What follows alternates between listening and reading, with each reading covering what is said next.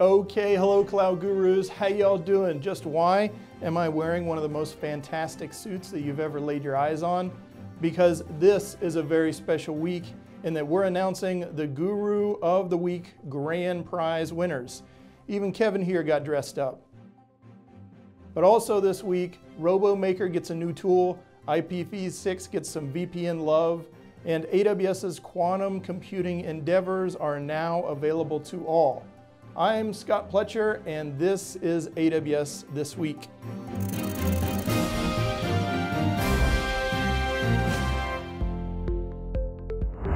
This week, AWS have introduced RoboMaker WorldForge, which makes it faster and easier to create 3D virtual worlds in which to simulate your robotic creations. Many times it's cost prohibitive to test every robot in real world scenarios, so roboticists turn to simulations. Usually creating these 3D worlds requires lots of time and specialized skill. WorldForge aims to lower this barrier by making it faster and easier to create those virtual worlds. AWS Site-to-Site VPN now supports IPv6 traffic for VPN connections to AWS Transit Gateway. With this launch, you can now use IPv6 addressing for your traffic between your customer gateway device and your resources in AWS. IPv6 is gaining in popularity as the proliferation of IP connected devices gobbles up all those IPv4 addresses. If you too are on the IPv6 train for on-prem and your VPCs, you will now be able to communicate securely between them using AWS site-to-site VPN connections. Amazon Braket is now generally available.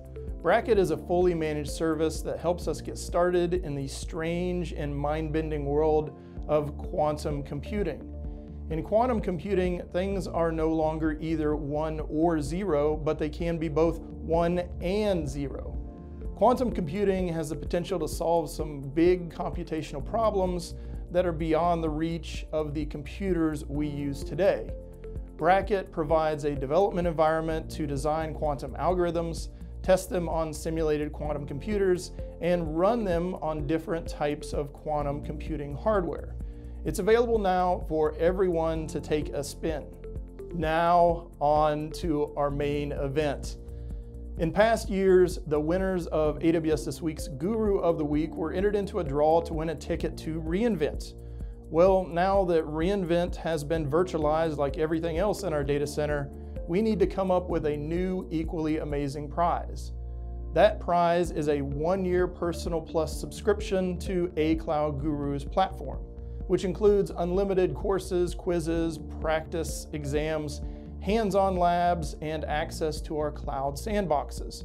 We're also throwing in an ACG Mega Swag Pack featuring our brand new t-shirt design, Winners also have an option to appear as a guest on this very show or receive a personalized video from your favorite host or become a character in one of Forrest Brazeal's cloud comics.